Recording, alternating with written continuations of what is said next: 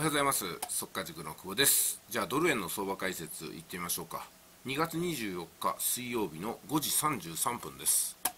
えー、昨日このね冷やしのチャートから私が読み解いたのはまあ、以前からお話しているこういう風な形がありますよねフォーメーションが。でここをブレイクして、えー、そしてちょっとブレイクの丸を書こうと思ったんですけどね。ブレイクしてあとここがあ転換点になってですね。今度は上昇に向かってるんだというね波形を書きましたこういうふうに。ねそうすると昨日の時点ではこの陰線はなかったんですけども陽線までだったんですけどもここがきっかけになってまんまと上昇していますよね、まあ、ですから今含み益を取られているところだと思います。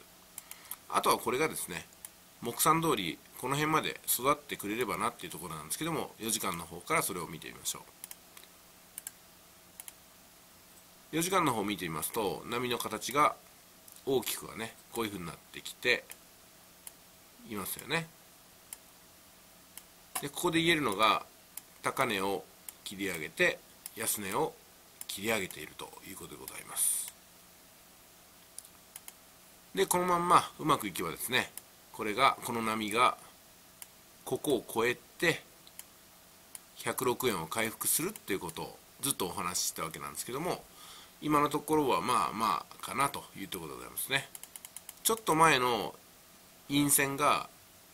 下髭を出してるじゃないですか。だからこれは上に向かうべき力をね示していると考えられます。で包み足ちょっとちっちゃいんで見えにくいんですけどもこのね包み足に注目なんですよ、うん、大きな下落の流れが止まってそして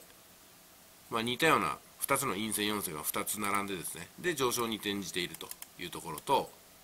上昇に転じたものが一旦下に降りたような形になりますけども下髭を出して陰線を形成して今上昇に転じようとしているところですよね。小さく見たらこれ W が右辺が強いになってきてここを超えてその勢いを買ってですねここも超えていくんではなかろうかっていうふうに106円超えのシナリオを見ています。で1時間なんですけどもこうですよね、まあ、ゾーンがまず1個目ここにあって包み足の逆の形になってますね。でここに大きなダブルトップのゾーンがあります。やっぱりこうダブルトップになりましたね。ダブルトップになって大きく下に向かう流れを作ったということなんですけどもここから下がったところが勢いをつけてここからね W 右辺が強いを証明してくれるんじゃないかなとここを突き破ってですね上に向かい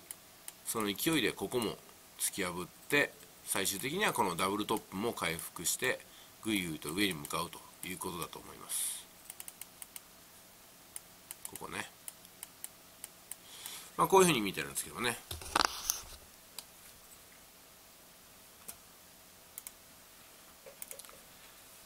はいいろんな見方があるもんですけどももうやっぱり大筋では106円107円方面に